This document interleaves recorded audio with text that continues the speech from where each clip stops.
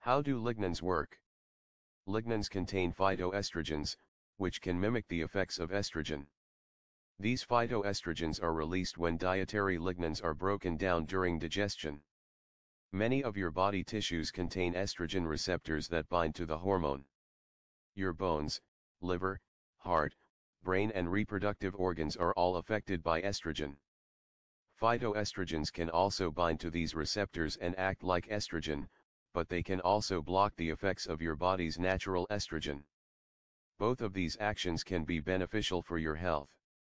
For instance, the estrogen promoting action could help boost bone density.